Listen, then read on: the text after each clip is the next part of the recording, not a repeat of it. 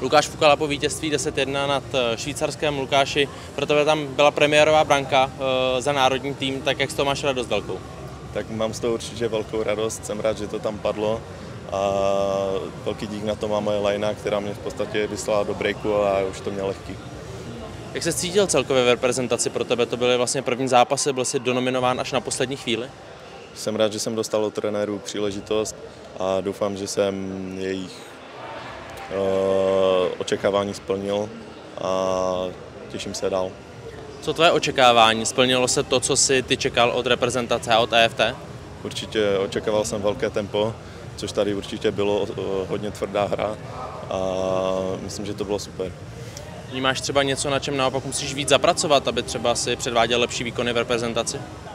Tak určitě vždycky je na čem zlepšovat, eh, ať už střelba z první, což si myslím, že je tady klíčová, protože se v podstatě střílí jenom z ní, takže to bych asi vypíchnul. Jak se cítil v lajně dneska, vlastně, eh, jaký to pro tebe bylo? Tak eh, v obraně hrál Bohu s Bílasem, skvěle jsme podle mě bránili, a myslím, že jsme diktovali tempo hry.